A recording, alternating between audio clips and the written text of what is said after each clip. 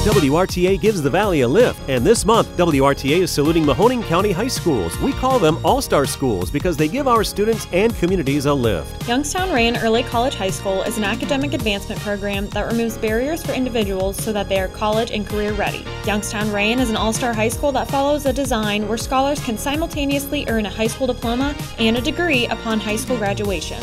Please help us salute our local All Star Schools.